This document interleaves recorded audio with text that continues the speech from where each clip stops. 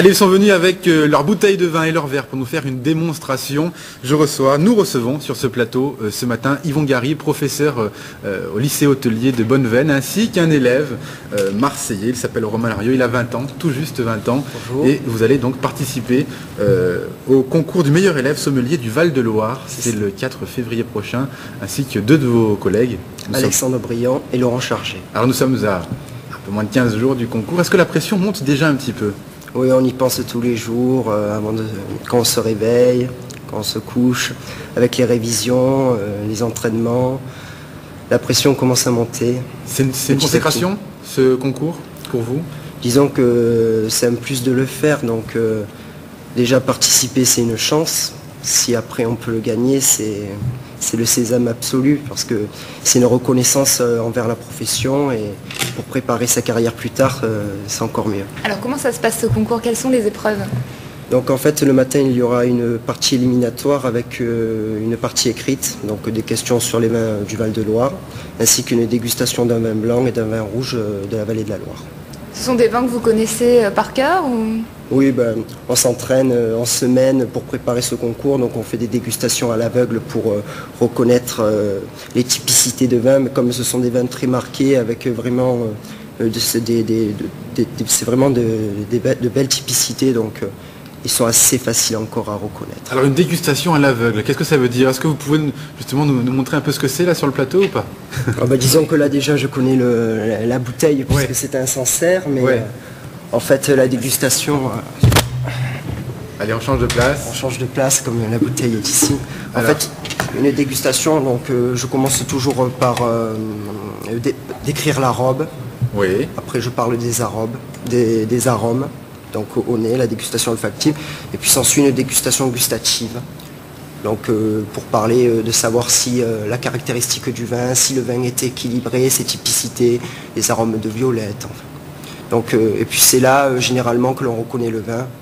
S'ensuit pour parler des caractéristiques du vin, les accords mets vins, le prix, ça veut dire s'il nous plaît, si on le mettrait dans sa cave, puis les durées de vieillissement.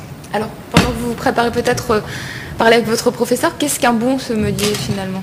Alors un bon sommelier, c'est quelqu'un qui aime le vin d'abord, hein, qui est capable d'en parler avec euh, amour, ça c'est très important, euh, euh, qui a une connaissance en fait large et, approfondie de tous les vignobles, de, toutes les de toutes les parcelles également au niveau France, mais également au niveau étranger qui connaît également les viticulteurs, ça c'est essentiel, hein, qui soit capable de pouvoir, euh, qui soit capable de parler du viticulteur, qui soit capable de, de- de- d'avoir des anecdotes euh, même sur le viticulteur, qui sache découvrir les meilleurs vins au meilleur prix, Et puis qui sache, euh, qui est l'art aussi, hein, de, là on voit, c'est...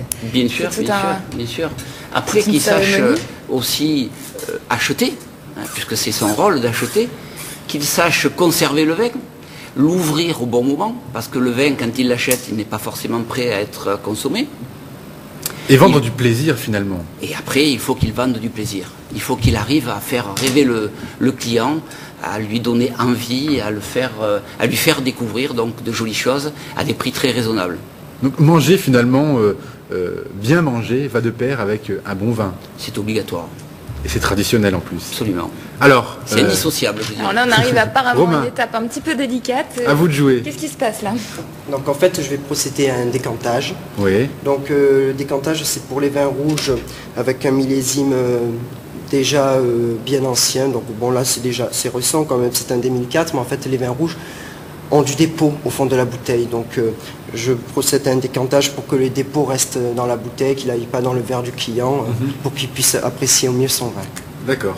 Donc il faut allumer une Donc là, qu'est-ce que vous faites? Donc en fait, j'allume une, une bougie. Oui. Donc parce que comme les, ce ne sont pas des bouteilles transparentes, les verres sont opaques. D'accord. Il faut que je puisse voir euh, le dépôt qui passe euh, sur le goulot de la bouteille. C'est beaucoup plus précis que, que ce qu'on peut le constater dans un restaurant euh, euh, classique, quoi. hein. Euh, Là, c'est vraiment du, du grand art. Ça se Tout à passe- fait. Ça se passe pas comme ça non plus dans tous les restaurants. Ouais, je pense que dans les restaurants de, de- de bonne qualité, le sommelier doit être capable de, de faire ce, ce genre d'opération lorsque c'est nécessaire. D'accord. Donc en fait là j'envine ma bouteille. Oui. Très esthétique en plus. Hein.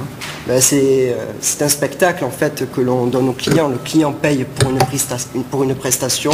Donc on, on fait du spectacle, on leur fait plaisir. Surtout quand ils ouvrent une belle bouteille. Donc là en fait je vais déguster, euh, respirez. euh, je vais déguster le vin que je carafe pour savoir si euh, il est apte à passer en carafe parce qu'il y a déjà il y a certains Ah, on millésimes. fait pas, on fait pas goûter le client. C'est vous, c'est vous qui appréciez D'abord, d'abord. c'est moi, puisque Ah oui. en fait je suis l'expert, c'est pour savoir euh, la capacité du vin, ses aptitudes. Ensuite, je lui fais goûter. Il vaut mieux que ce soit moi d'abord qui le goûte, qu'on ne sait jamais si le vin euh, S'il est pas a une empoisonné. petite défaillance. euh. Voulez-vous que je vous fasse une dégustation Allons-y, Enfin, Lucie. Allez. Donc en fait, ce qui pas en concours, c'est ça en fait. Je serai devant un, un jury, Oui. donc il faudra que je parle du vin. Donc, D'abord, il y a la dégustation visuelle, donc euh, D'accord. un disque net et brillant, une belle robe claire sur euh, des notes de fraise, D'accord.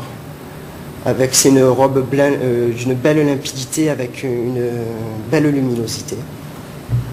Dégustation olfactive. Donc on a un nez frais sur les fruits mûrs, sur les fruits mûrs avec euh, une belle fraîcheur. C'est vraiment un nez de plaisir. Donc euh, le deuxième nez. Donc euh, c'est un nez qui est plus évolué avec beaucoup plus de fraîcheur. C'est vraiment euh, un très joli. Qu'est-ce qui vous a donné envie de faire ce métier, Romain? C'est mes professeurs.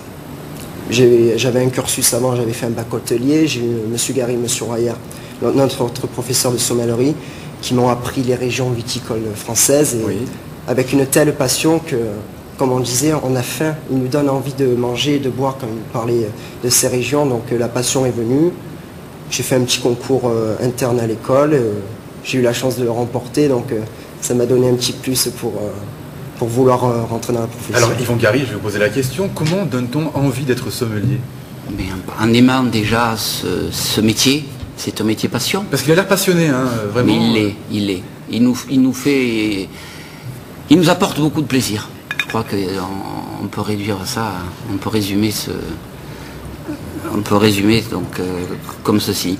Il, il nous apporte beaucoup de plaisir parce que Ce métier, cette profession prend une trajectoire ascendante ces derniers temps. On a l'impression en tout cas qu'il y a de plus en plus de, de, de buzz, j'ai j'ai envie de dire, autour du métier de sommelier. Absolument, absolument.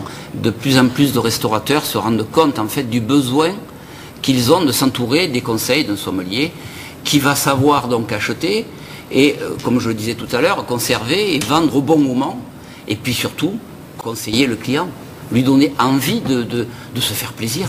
Et alors vous, votre objectif euh, plus tard dans, dans votre vie, c'est quoi quel, quel, euh, quel plus haut niveau atteindre finalement quand on est sommelier? On a toujours des rêves, donc bon, déjà ça serait de commencer ma carrière en allant dans les plus grands palaces, les plus grands restaurants pour euh, apprendre le métier de sommelier, pour découvrir de belles bouteilles. J'aimerais, ça c'est après si j'en suis capable, faire des concours euh, à une échelle nationale. Puis euh, j'aimerais bien après ouvrir mon affaire, euh, un restaurant autour du vin, euh, sur La le thème question du de vin. prestige est toujours là, hein, c'est euh, vraiment très important. hein. Et à Marseille, vous comptez rester dans la région et à Marseille en Bah, particulier disons que je suis marseillais de cœur, donc je suis né à Marseille, donc j'aime ma région, donc euh, j'aimerais bien rester dans la région et après euh, ouvrir quelque chose euh, autour du vin. Donc euh, après c'est vrai que par rapport à d'autres régions françaises, euh, la, la passion du vin est, y est un peu moins.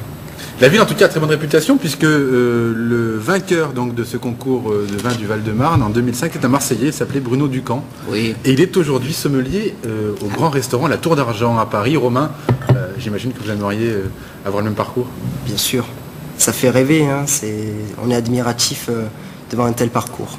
Alors en tout cas, ça va pas être chose facile puisqu'il y a quand même 90 candidats, euh, c'est plus de 30 lycées euh, en France et même en Belgique. Euh, il y a un jury de 20 professionnels. Bon, qu'est-ce qui va faire la différence? L'entraînement, l'envie, la passion. Il n'y a que ça, c'est l'entraînement. Il y en a qui disent la chance. Surtout si on s'entraîne, c'est surtout l'entraînement, c'est beaucoup de travail personnel, c'est bosser, bosser, bosser. Si on bosse, je suis sûr qu'on peut réussir. Yvon Gary, euh, dernier conseil que vous lui donnerez, que vous donnerez à, à vos trois élèves il faut qu'il se fasse confiance et puis qu'il croit en fait en son, en, tout le travail qu'il a effectué. Voilà. Bon, bah écoutez, ce sera le, mot de la fin. Merci messieurs. Romain, on vous souhaite bonne chance, ainsi qu'à vos deux collègues, donc Laurent Charge et Alexandre Briand. Vous êtes jeunes, vous avez du talent, et bien écoutez, on croit en vous, Marseille croit en vous. Merci beaucoup Yvon Gary, et merci, euh, Romain Larieux d'avoir été avec nous sur notre plateau ce matin. Lucie, merci, à tout à l'heure. À tout à l'heure. Allez, à tout à l'heure, euh, l'info continue sur LCM.